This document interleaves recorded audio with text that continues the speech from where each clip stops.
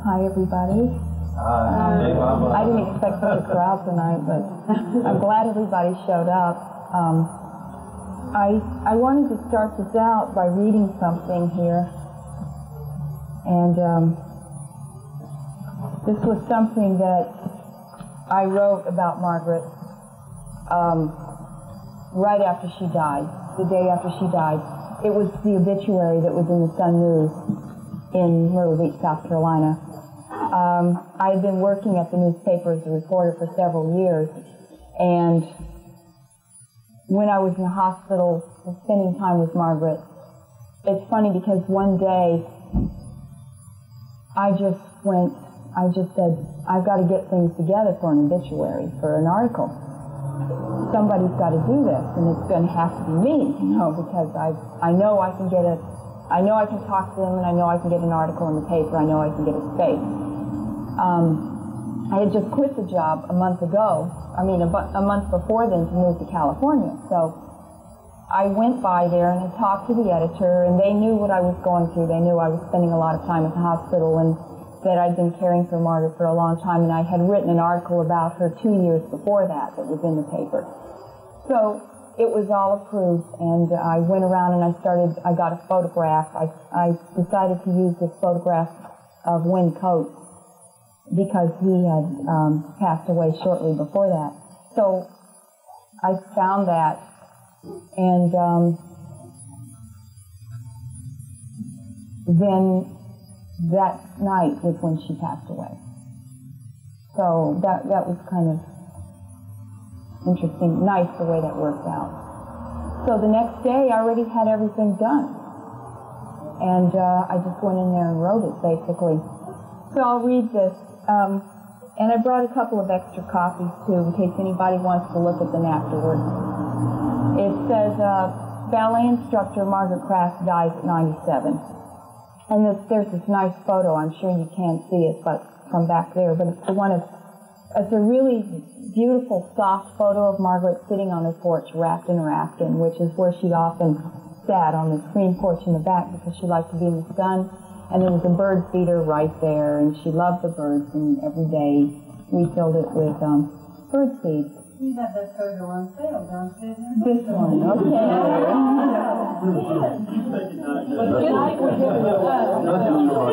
This was one of the softest photos, I think, of Margaret in her later days. It was really nice. The lighting and everything was beautiful. So what this will do is to give you a little bit of background about Margaret. It says, though Margaret Craske of Myrtle Beach had a profound effect on ballet throughout the world, those people knew her say a bigger contribution she made to the world was the example she set for those who knew her. She was a living example of how life should be lived, said Edward Hinkle, a dancer with the New York Theater Ballet and a student of Craske for 17 years. She was never late for class. She would stay after work and work with people. She made herself totally available. Craske died Sunday night at Grand Strand General Hospital. She was 97. A Briarcliff Acres resident for four years, Craske had a long and colorful dance career. She studied with Enrico Cecchetti, founder of the Cecchetti method of ballet in London in the early 1900s. She also taught for Cecchetti and later wrote two books about his teaching methods. He was about the best teacher that ever existed, Craske once said. Craske was uh, one of the first English dancers to appear with a Russian ballet group, Diaghilev's Ballet Russe, before World War II. Through the years, she taught some of the world's best dancers at the Sadler's Wells Ballet Company, later known as the Royal Ballet, the American Ballet Theater, the Metropolitan Opera Ballet School, the Juilliard School, and the Manhattan School of Dance. Also a natural storyteller, Craske has written two books, The Dance of Love and Still Dancing with Love. The books describe her early meetings with Meher Baba in Europe, seven years spent living in India during World War II as his disciple, and later meetings with Baba in the United States. She was the director of the Meher Baba Spiritual Center in Myrtle Beach. Ted Hightower, a student of Craske for more than 20 years, and now director of the dance program at Adelphi University, said Craske had a profound effect on his life. Miss Craske was one of the best ballet teachers of the world. To study with her was a privilege beyond expression, he said. The vastness of her love for people and life itself is one of the greatest gifts she gave to her students. This was immersed in one of the most joyous wits and senses of humor that anyone could be blessed with encountering. Thank you. It was nice because um, the people that were quoted in the article happened to be there at the time because uh, they were visiting the center, so I was able to talk to them and to get those quotes, and it was it was just really beautiful how it all fell into place um, at such a critical time. But the the way it's interesting how I even started working with Margaret. Um, I never thought that I would be doing anything like that. It wasn't something that I planned to do, you know. It was, in fact, uh, my next door neighbor, Barbara Gone, was working with her, and also Melinda was working with her. And, and I remember they'd come in, I'd hear Barbara talk. We talked about Margaret a lot, because we would have tea together a lot in, in, on the Saturday mornings, and we would talk about what was going on. And I remember feeling um, first of all, feeling like, boy, that sounds so hard. I don't think I could ever do that. I don't know if I'd ever want to do that. And then I remember feeling a little bit of jealousy, you know, that they were doing this and I wasn't. And, and, um, I, I remember feeling like this isn't fair. You know, I have to work two jobs just to make it here in Myrtle Beach. I work, you know, four, 50, 40 to 50 hours as a reporter and work my tail off. Then I go and I have to work at the Hilton Hotel just to be able to pay my rent, and I don't have time to do anything like this. It just isn't fair. You know, they they have time, they have the wherewithal to be able to do this. So I was kind of like um, going through this phase, and I talked to Barbara about it at one point and said, you know, I think I'd really like to do this if anything were to open up for maybe an evening or a Sunday afternoon. I could fill in. And um, she said, okay, but it doesn't seem very likely because we have a pretty set crew here. I think there were about five or six regulars at the time. And she said, and uh, she said, but you know, if something opens up, we'll keep you in mind. But it didn't look very promising, so I just kind of, okay, that's fine. Well, in about a week, one of the regulars decided that she needed, she couldn't work as much as she was working. She needed a night off. So there was a weekend night off. That meant one of my weekend nights to be taken up, you know, one of my only nights that I had. And, uh, and the only time, there wasn't a Sunday afternoon or anything like that. The only time that was available was go in at 11 o'clock at night, spend the night, and come home at 8 o'clock in the morning. So, you know, first I thought, I can't do this. It's too much. no way. And then I just I just went, yeah, I'll do it. It's like I just kind of gave it up. And something in me knew that I needed to do this, that it was something really good for me. So I made the decision to go ahead and do it. And even though I knew it would be hard, because Margaret was totally bedridden and she needed help doing, you know, pretty much everything. So I just had to trust in that and go with it. So every Friday night, I would, a lot of times, you know, work a full week, sometimes work a banquet on a Tuesday or Wednesday night, a lot of times work a banquet on a Friday night, you know, rush home from work, walk my dog, rush to the Hilton Hotel, work a banquet, get out of there, rush over there to be there by 11 so I could relieve whoever was there, or 10.30. And, you know, just like fall in the door. And I would never, ever know what to expect at Margaret's house. And um, I don't think Margaret ever did learn my name.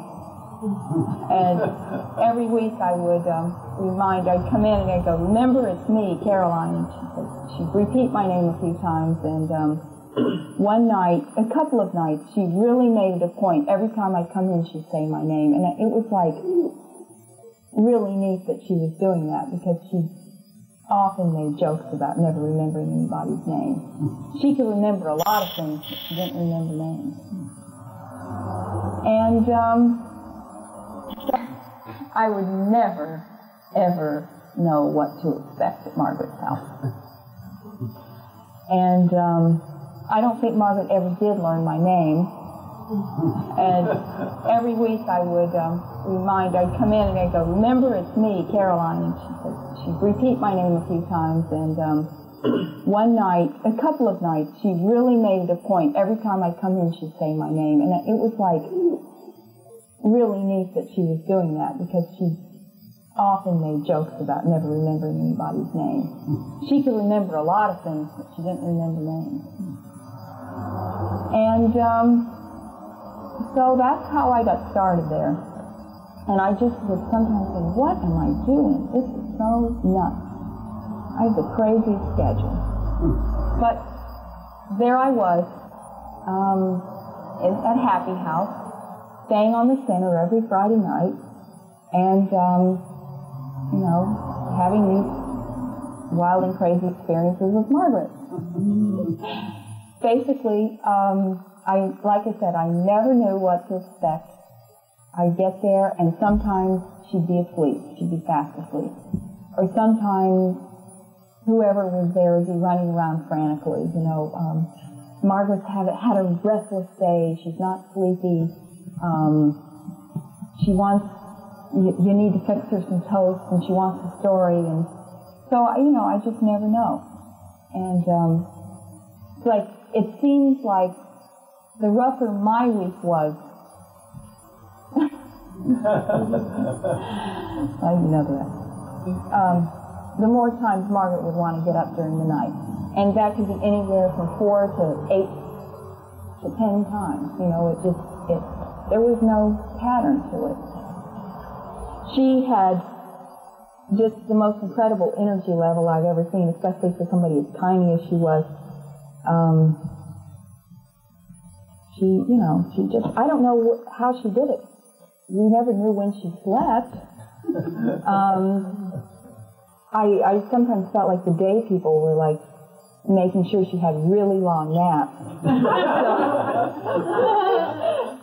so, so then I would come and she'd be awake all night. But it was a, it was a completely different experience being there at night than it was during the day. Because during the day, there were visitors, there were meals, there was um, a little housekeeping. Margaret would take a nap. She'd go out on the porch and it, it was um, it was a, a lot. I'm not saying it was easier. It was different. Being there at night was uh, just you and Margaret. You know, that was it, and um, it was very intense at times, and it was also very sweet. And so I felt extremely privileged to be there at night uh, because it was so intimate, and to have that time with just her, but uh, it was, like I said, at times very difficult. Um, she could be very restless, and sometimes she was in a lot of pain because she suffered from arthritis, and um, I would sleep in the room right next to her, and uh, you know, I usually I'd go in and I'd change and put put on like a big T-shirt or the sweatpants or something because it was winter. A lot of times it was cold. And um, Mar- this is another thing. Margaret always saw me, always saw me looking my worst.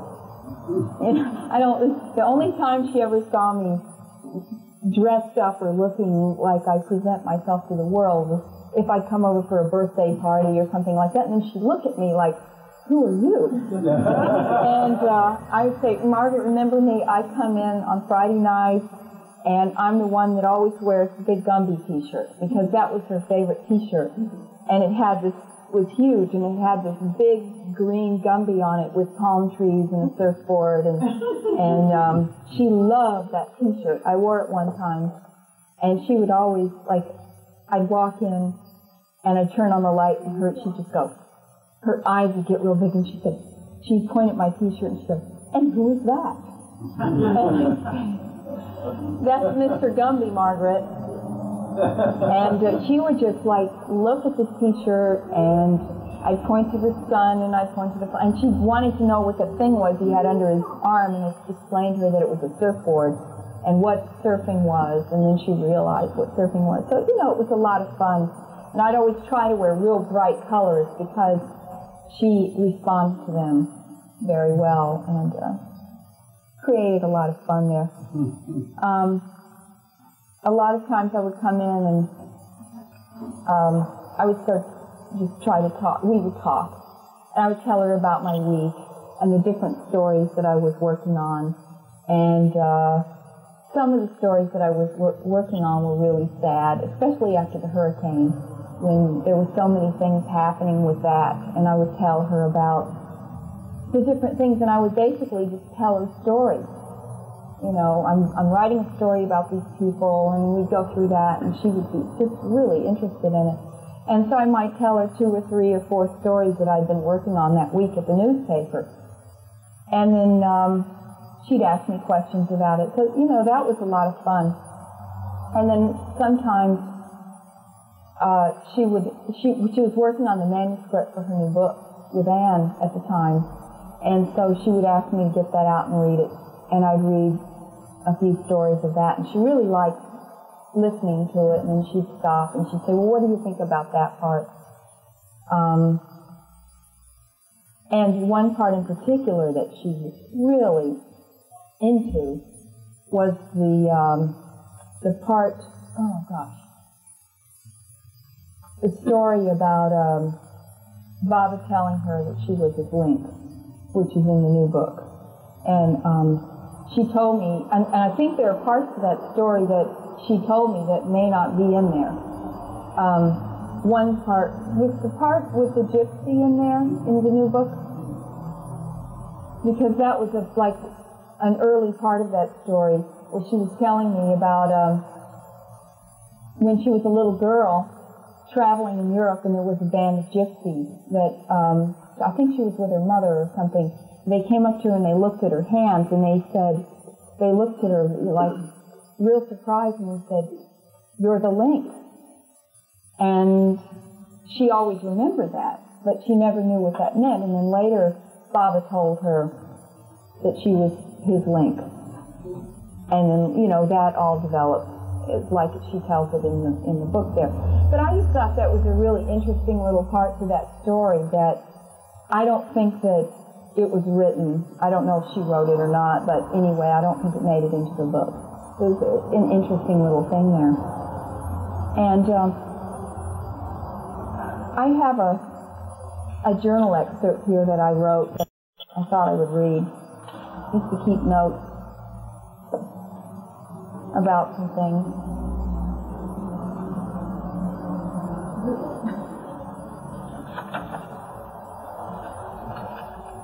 And then I'll just go on from here.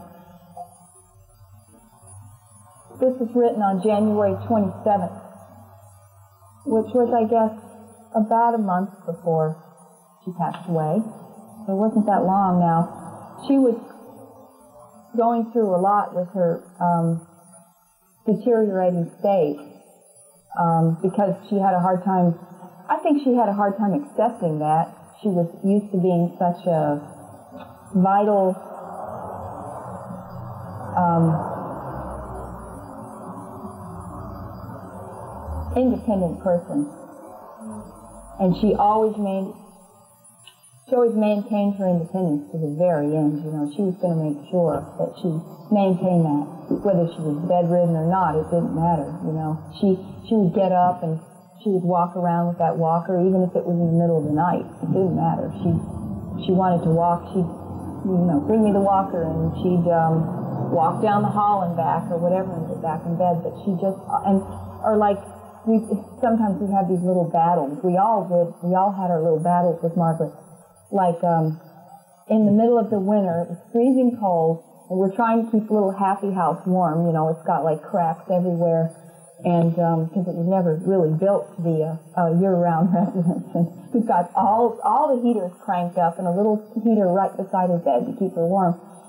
And she calls me in. You know, she always would ring the bell. She had a little bell by her bed, so she calls me in and points over. Would you please open the window? Margaret, it's, it's like it's below freezing outside. It's, it's in early 30s, and I don't care. I want the window open, so I go over and I like crack it. that much, you know, and pretend like I was really opening it a lot. But she would know, and she said, more. so I'd open it a little bit more, and I'd be like, oh, come on, Margaret. And then she'd say, now open that one.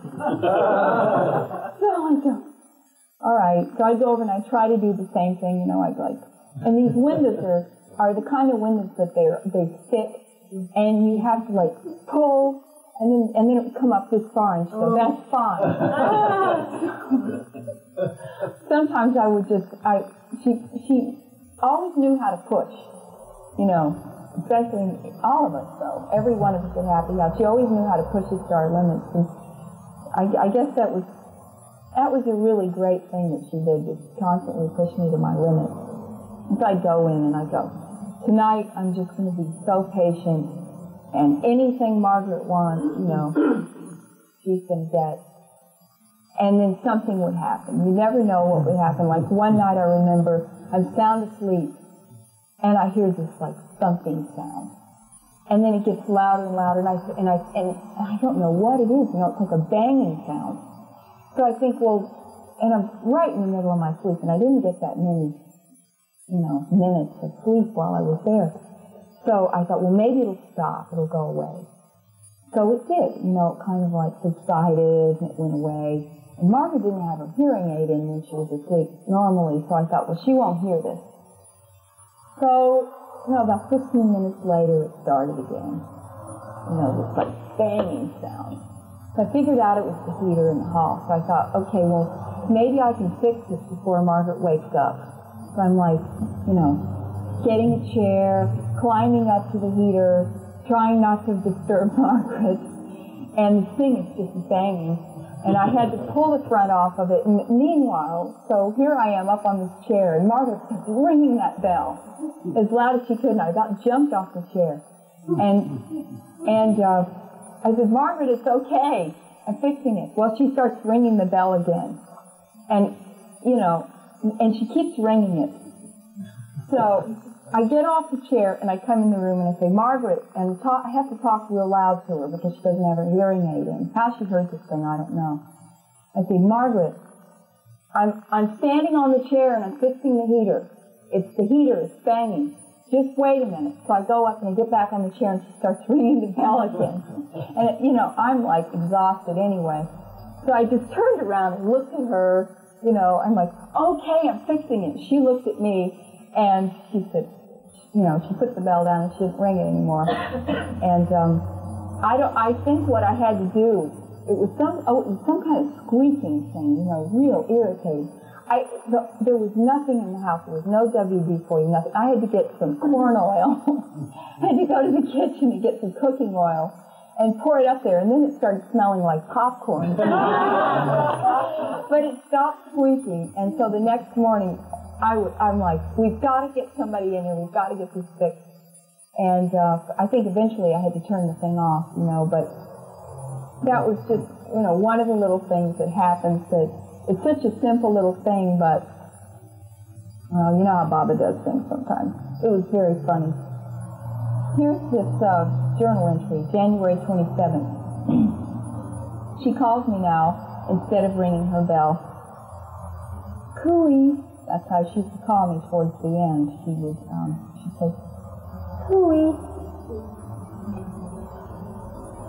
And that was when, when she started doing that was when she was too weak to ring the bell. She couldn't reach up and get it, so she had this little call. About 2 a.m. she called. Her arthritis was keeping her awake. I rubbed Tiger Balm and gently massaged it into her pale, thin legs. And that's what we used to do when she would get her real bad arthritis. Um, it seemed like it, that was the only thing that would help the pain. We would come in and massage her legs, and we would use Tiger Balm, or we would use something. We were always trying new things. And her, her ankles were smaller around than my wrist. She was just tiny. And, you know, most of you know Margaret. Uh, some of you may not. I talked to her about the newspaper and told her about some of the articles I'd written during the week. Then I asked her what she'd been thinking of all week. A lot, she said. There was a long pause, and I sensed that she had more to say. I waited. She painfully turned to her left side. How much more pain, she said. I knew that she was facing her own death and letting go of life. I felt so much love for her then. At 6, at 6 a.m., she called again. I saw the moon outside the window at the foot of her bed. It was full, hovering over the tops of the low shrub oak trees. The tips of the trees were gilded with the first rays of the sun. Margaret was touched by the quiet, intimate beauty there. Isn't it extraordinary, she said.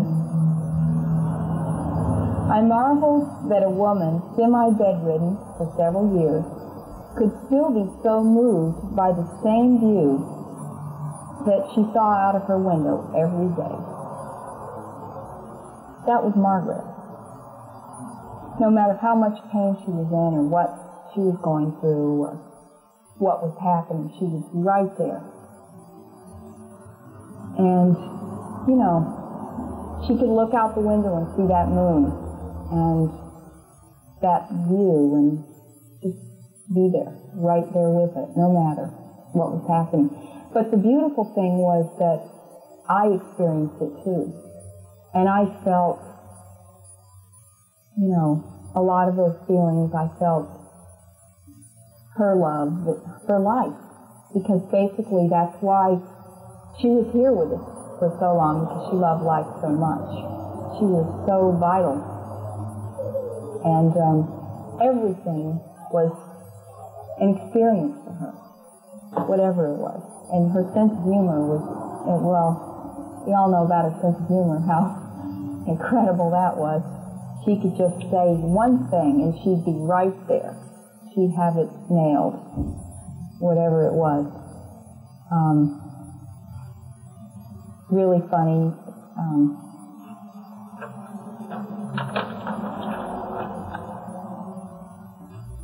and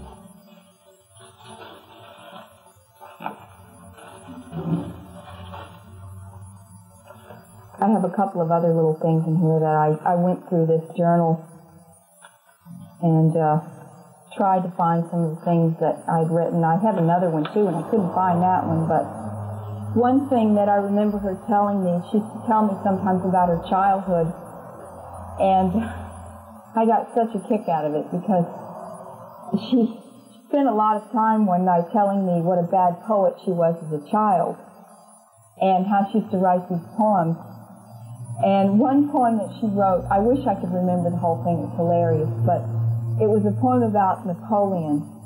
And it started out, the great Napoleon shivers as he paced upon the deck.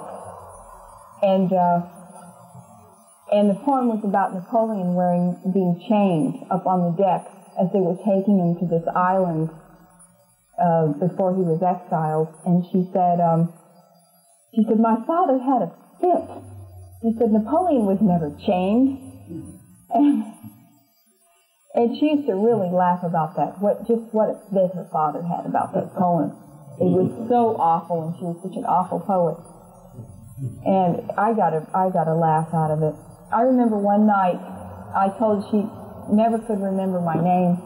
So one night she she made up a little rhyme and she said, "Caroline, will you be mine? Yes, on Thursday, if it's fine. and I, you know, she used to just say little things like this out of the blue, and I would just crack up. It was so funny. But being there was interesting for me too because I, it was like walking in. I remember especially at Christmas, coming into to Happy House. Um, just the feeling that was there. First of all, the, the living room of the place was very cluttered with a lot of furniture, a couch and a chair and Margaret's wheelchair and the little table and the TV and always the fireplace though. And in the winter, Margaret had to have a fire. And um, luckily, the caretakers supplied us with lots of wood and that fire had to be going. If it was like the least bit chilly, or even in the summertime, sometimes at night she wanted a fire. Um, but Christmas, I remember I would walk in and um, the mantel was always full of pictures of Baba and Mehera, and every tabletop in the room was full of framed pictures, and it was really nice. And then there were pictures on the wall, and a lot of pictures of Margaret and Baba, and um, a lot of really nice old photographs. And then there was the Christmas lights that were like all over the mantel, all different colors. And um, it was it, there was like a little tree, you know, Christmas cards everywhere, and it was just really nice. And sometimes when when it was like that, certain nights especially, I would just I would go and sleep on the couch in the living room because the, the atmosphere was so nice in there. Instead of going into the bedroom, I would just close that off, especially if it was real cold, and just leave the living room door open because I was just at the end of the hall and I could hear and um, and just the feeling of the place.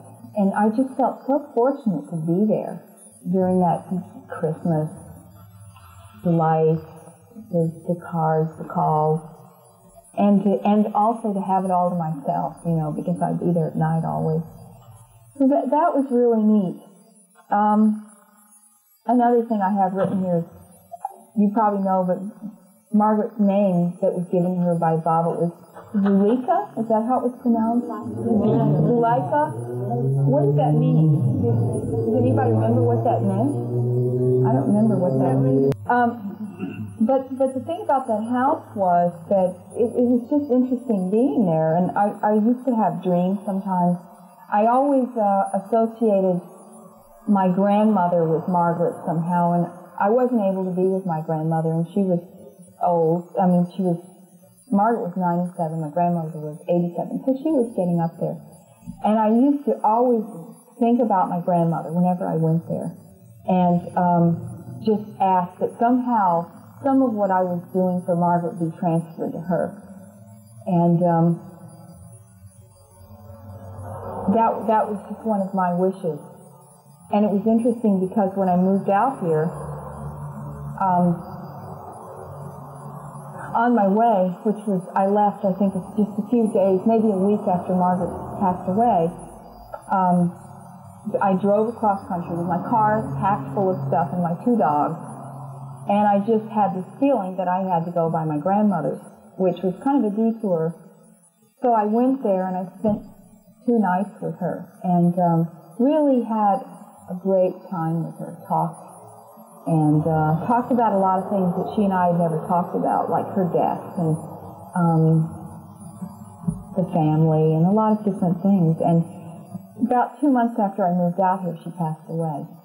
And I think I was the only one in the family that got to see her, except for my father, who was her son. I was the only one that was able to see her before she died. So I felt like that was a gift that I had, you know, a blessing uh, just to have it come to me to, to do that. Um, I one night I, I dreamed that about Margaret when she and this dream in this dream Margaret was a lot younger and fitter and healthier and I just I didn't even remember it until I saw this note here but I was in a swimming pool and she was in a swimming pool and we were just having a conversation and then she started swimming, and I was trying to keep up with her, and I couldn't. So, you know, this was just one of the dreams I had that was kind of neat, you know, very vital. Margaret used to tell, tell me a lot of stories. Uh, she liked telling stories about Mehera because she had such a close relationship with Mehera, and Baba would ask her to do things with Mehera, like he asked Margaret to instruct Mehera how to swim. So she told, she would tell me these wonderful stories about Mehera and describe Mehera's beauty. And she, I remember when she would tell me about Mehera, she would say she was so beautiful, and then she would look at me very interesting, she'd say, she, she had hair down to here, and she would always do this to show me what those waves looked like, because she'd always use her hands, and she said, she was extraordinary. She was more beautiful than anyone. She said you would just look at Mehera and just be spellbound because she was so beautiful. And evidently people were. Um, and I guess that's why Mehera was so shy and why she was secluded a lot because she was just, I, I don't know, maybe that's one reason. But Margaret would tell me the story about Baba asking her to teach Mehera how to swim. And um, because Mehera was so modest, she had to wear like a raincoat and galoshes and like all these clothes. And so Margaret says, well, we got her in the pool and I tried to te- tried to teach her how to swim and she sank like a stone. so they had to come up with, with other uh, attire for Mehera to wear. And finally they came up with th- something for her to wear that was comfortable. And of course nobody could be around except just um, Margaret and some of the other women. And she said that the, the extraordinary thing about Mehera was that she was so concentrated that she was so concentrated on Baba that when Baba told her he wanted her to learn how to swim, she just shifted that com- that concentration and she learned to swim just like that. And she and Margaret would always tell me she was a beautiful swimmer and she you know she had a beautiful breaststroke and a beautiful backstroke and anything that Margaret would teach her to do, she would do to perfection. And, and uh, Margaret was just so impressed with Mehera and loved her so much. And one of the, the things in, in the night when Margaret would wake up that she would always request was, um, or that she would often request was um, stories from the book about Mehera. So I would read that to her. And she also liked to hear the uh, stories from the book about Bob and the animals she liked those because you know Margaret was in charge of the animals at um, Meherabad, and she used to tell me a lot of stories about the animals. In fact, I've got one here that I really think it's funny that she told me. If I can find it, it was so cute. I hope I can find it. Is it? Um,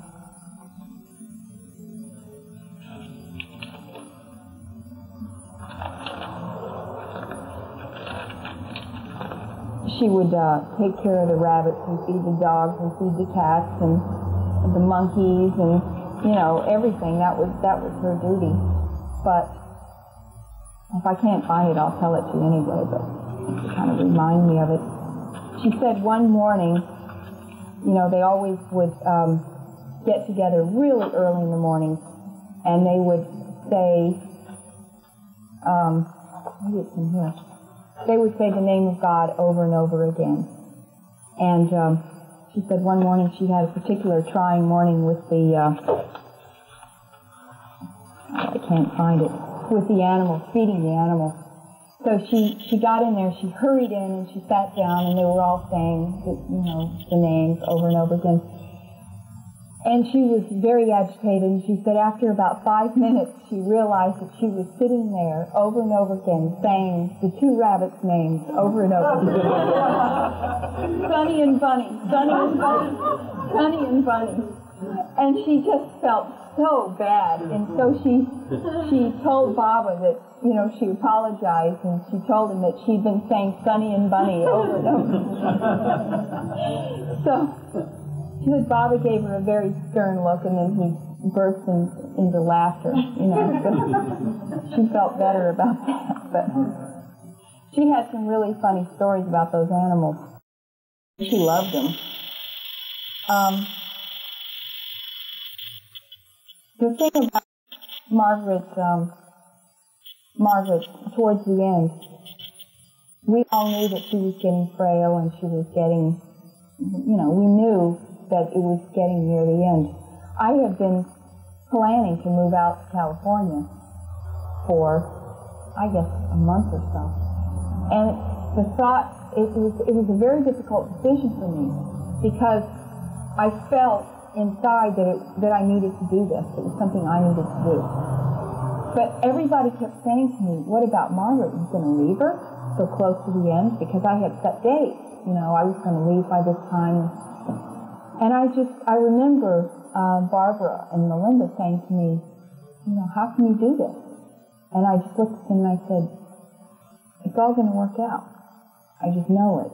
I have to make these plans right now. This is what I have to do. And I, it was like a part of me felt like a traitor because I was planning to leave and I was packing up and I was selling things and and you know what if Margaret what if I left Margaret so close to the end?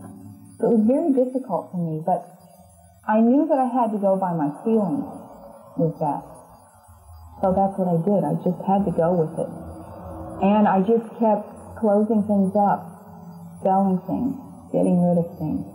Um, I knew I had to come out here. I didn't know why. I still don't know why yet, but I'm here. so.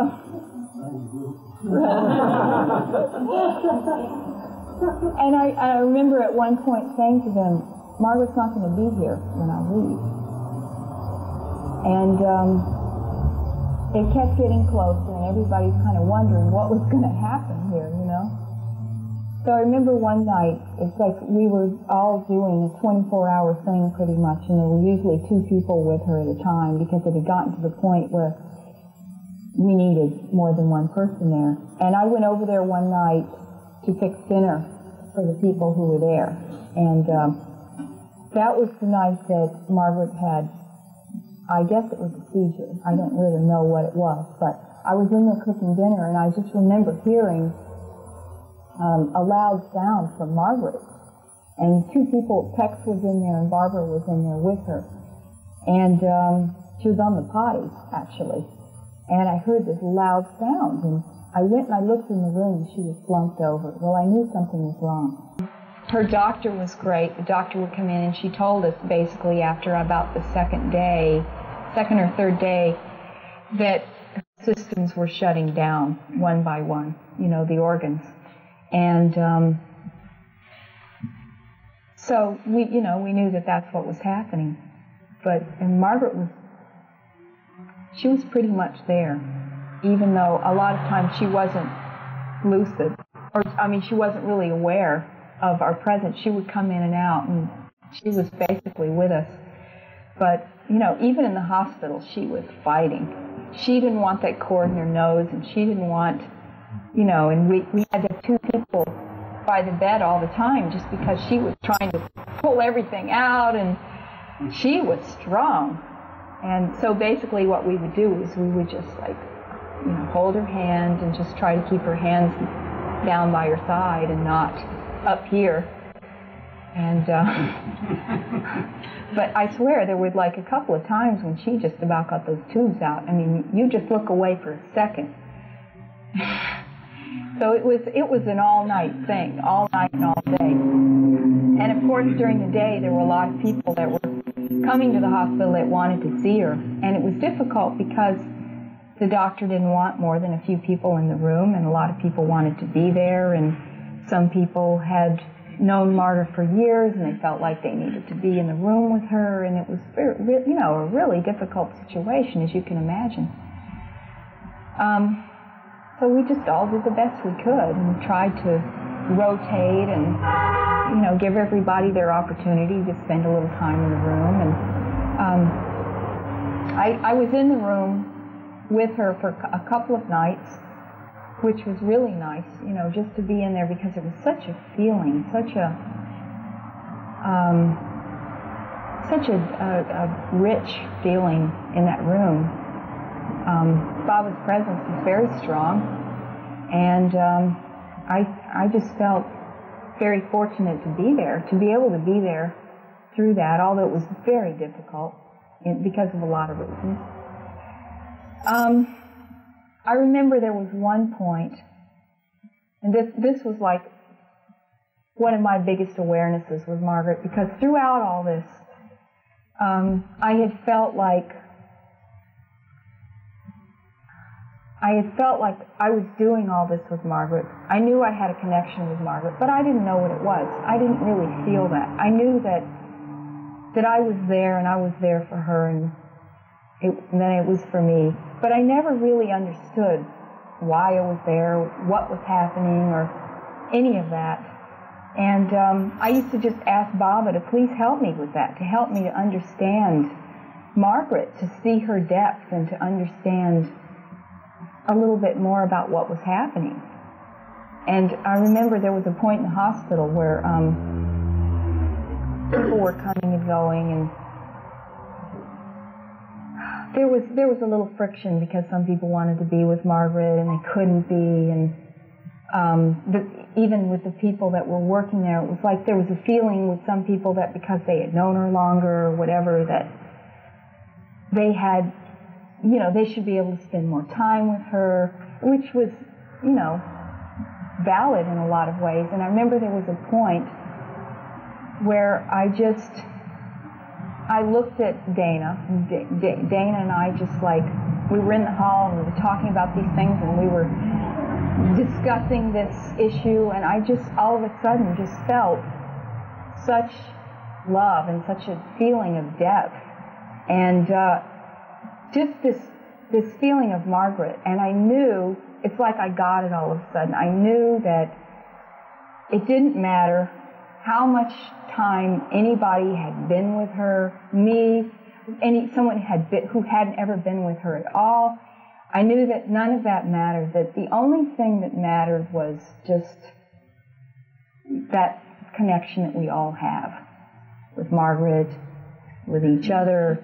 That that's really what it was, and um, and it's hard to explain that, but it's like I got it at that point. And basically, it's all of our connection with Baba. You know, it's just, it's all right there. Um, that was what I wanted. You know, that was that was what I needed to understand.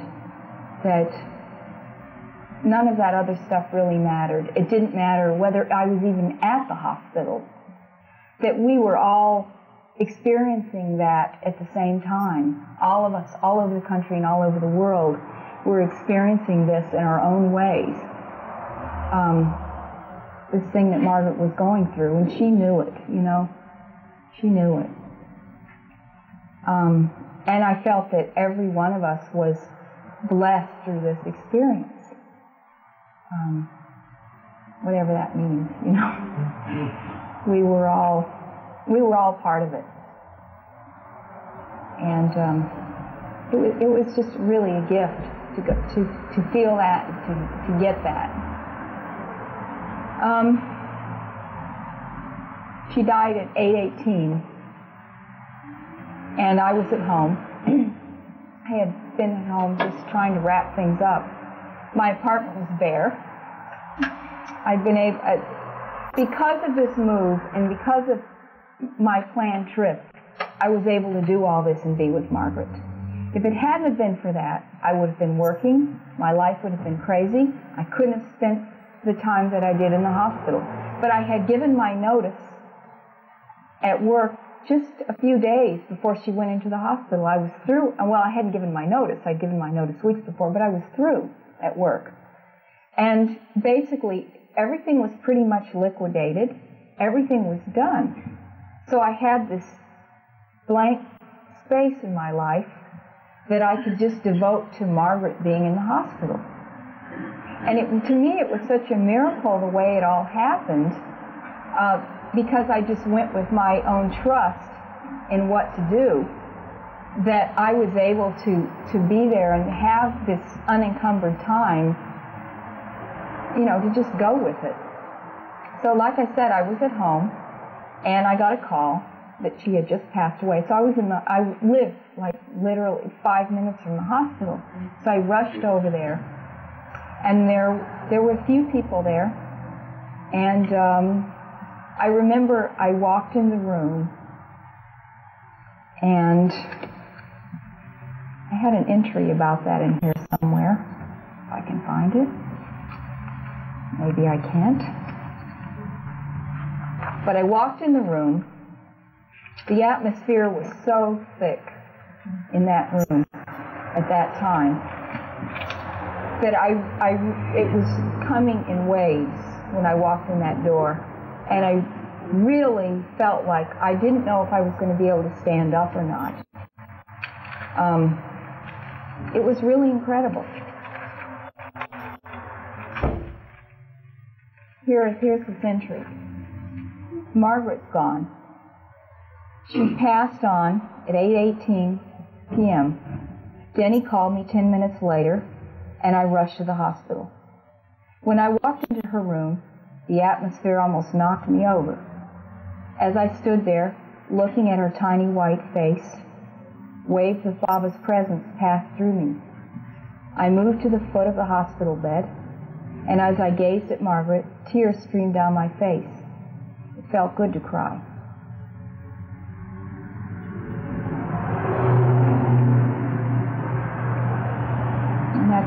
That's, what I wrote.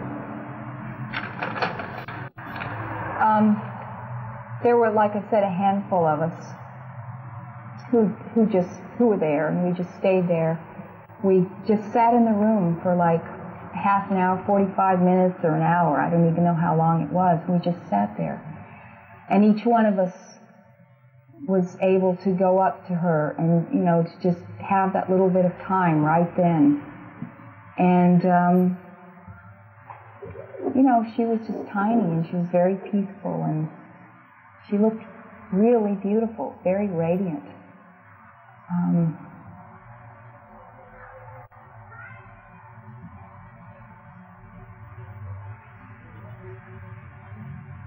here's something else I wrote. Um, I thought about how I continued to stay with her on Friday nights, even though I was exhausted from working three jobs. I never questioned being with her, even though it was very hard, and I sometimes dreaded going to her house because the night shift was so grueling. But, but right now, I feel really happy, and I know that Baba has perfect timing. So that's what I wrote. So we had a little um, um, program on the center. She didn't want any kind of a, a, funeral or anything like that. So we just had a, like a get together, and we just told each one of us would tell stories. You know, a lot of us told stories about Margaret, a little something, and um, then after that, I pretty much packed up everything and left. It was a few days later. Everything was done. I just loaded up my car, put the dogs in the car, and took off. And that was when I went to my grandmother's. I went straight to her house from Margaret's. And it was really interesting because when I left Myrtle Beach, it was on Baba's birthday. And I just had this feeling that that was when I needed to go. Even though part of me was saying, well, you should go to the center because they're having this get together and a, and a dinner and all that. No, you got to go today. So I, I did. And I was driving to my grandmother, so I was driving around Charlotte, North Carolina, to go up north toward Statesville to where she was. And I remember it was, uh, you know, I think it was dark, Baba's birthday. I turned the radio on, and there was like, I found this really nice station that was playing some new age music, and it sounded great. And and um, I'm thinking about Baba's birthday and about the festivities, and wondering if I did the right thing to leave on Baba's birthday, you know. Well, the song was over, and it happened to be a beautiful piece that a friend had given me on a tape right before I left. That was the piece that was playing on the radio. That was over. And all of a sudden, you know, I'm like listening, and I heard uh, that piece was um, donated. This time was donated by so and so on the occasion of Avatar Meher Baba's birthday. And I just went, what? well, I looked at my clock. I glanced at the clock. It was 8:18. And I knew that everything was right. I was exactly where I needed to be. And just keep keep doing it. Whatever I was doing, just keep doing it. So that was kind of like the end of that chapter. And I I I knew that I I felt that I was bringing part of Margaret with me out here. And um you know, just felt really good about being able to do that because Margaret is still very much with me all the time.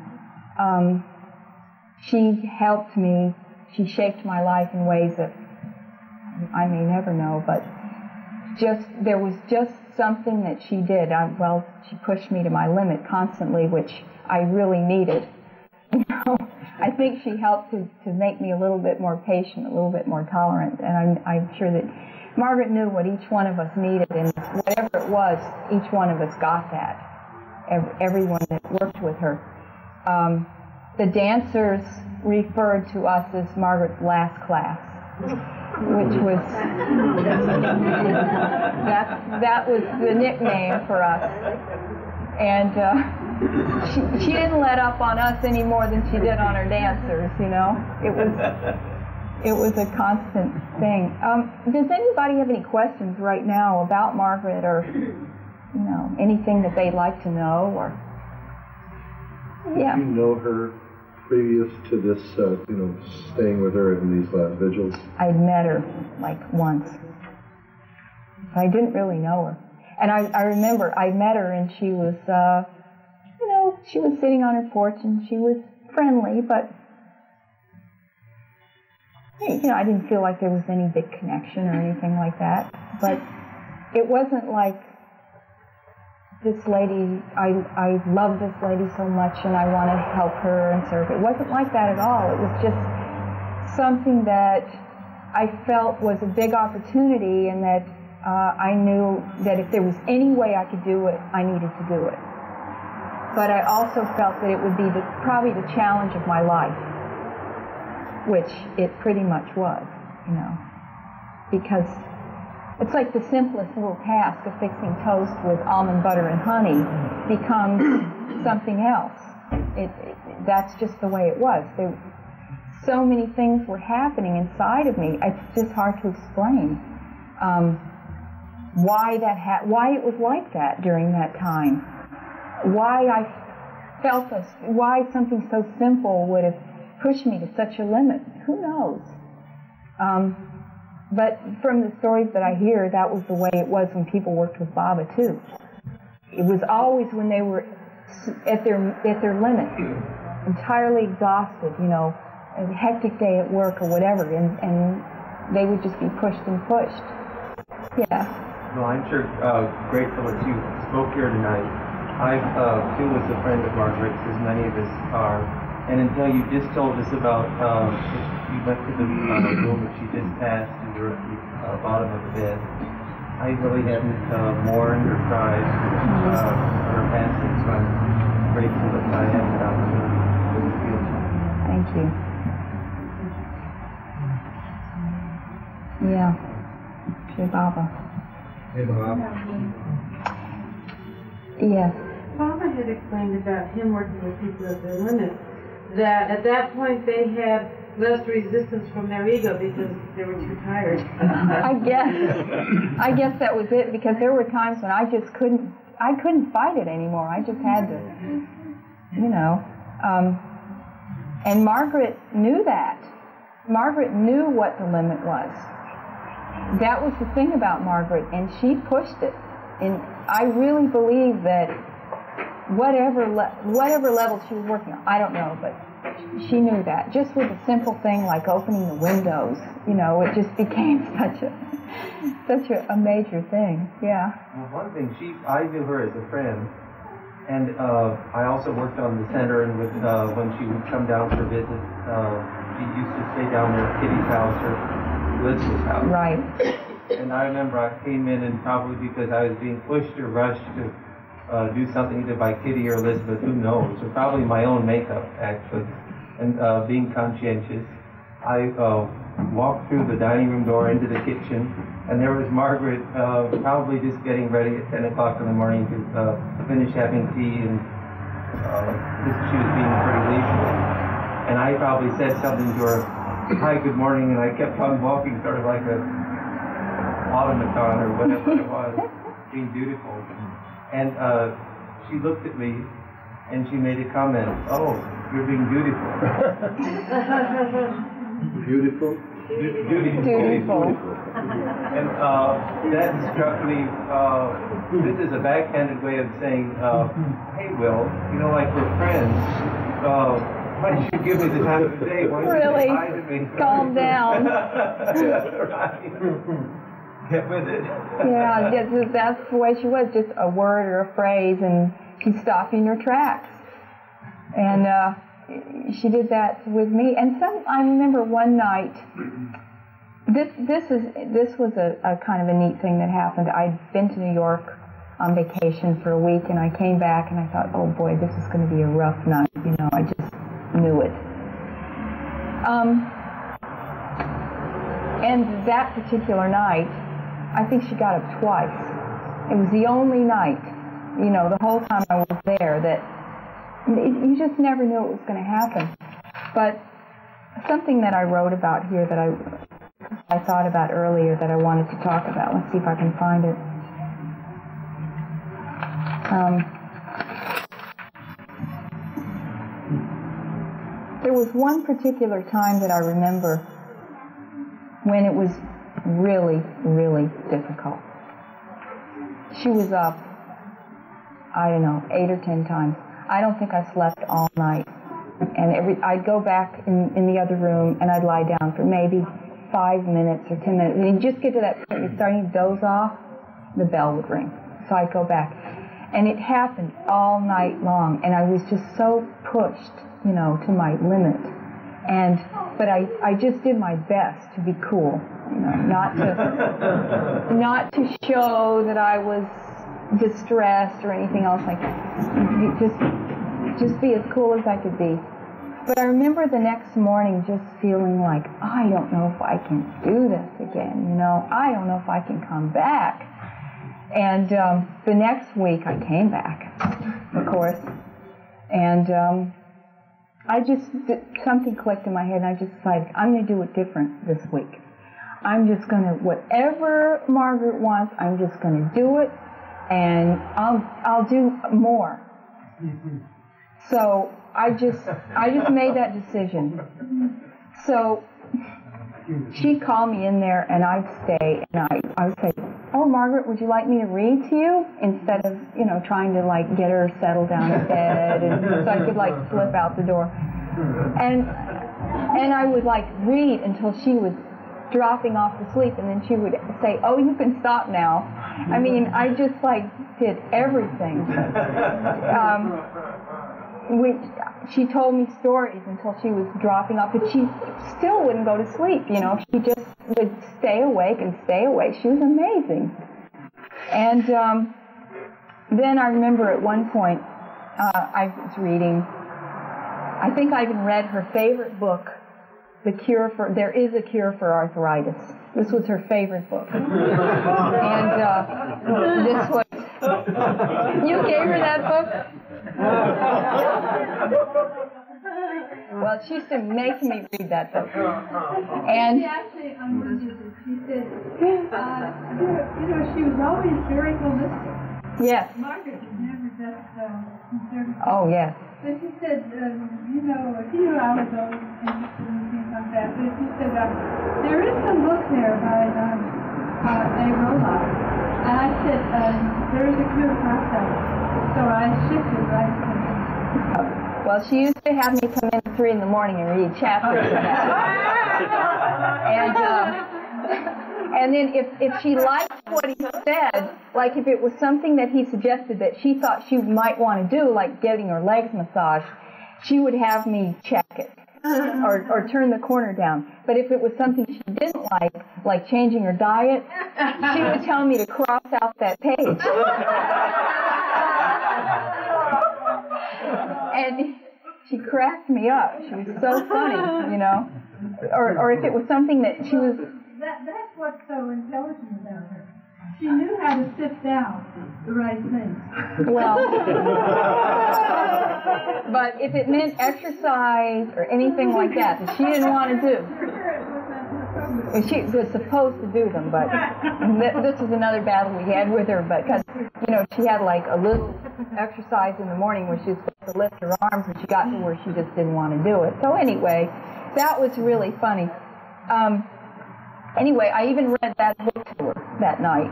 You know, like a chapter from her arthritis book, and um, finally she said to me, you need to go to bed. You must be exhausted. And I said, Oh, no, no, Margaret. I'm going to stay right here with you. I'm not leaving this room.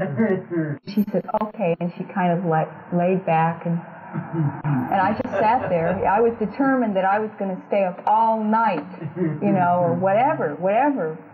I was just going to do it. And then she said, No, no, no, you go to bed. I said, No, no, Margaret, I'm fine. I really am. And I was. You know, I was really into this. I'm fine. I'm going to stay right here, right next to you. Because I felt like she was insecure at that time and she didn't want to be alone. And uh, so she kind of laid back again and then she said, No, you, you go to bed. I said, Okay, Margaret. Oh. And I said, I just want you to know, and I was holding her hand, her tiny little hand, and I said, I just want you to know that I'm right on the other side of that wall, and I'm not leaving you. And if you need anything, all you have to do is whisper, and I'll be here. And she, you know, she really liked that. I think that she needed the security, and she just said, "You're sweet." And she squeezed my hand, and I, you know, kissed her and left, and she slept all night. and uh, it, it, was, it was a good lesson for me. It was, you know, there were a lot of good lessons there. That, you know, who knows how long it would have taken me to learn those things without Margaret.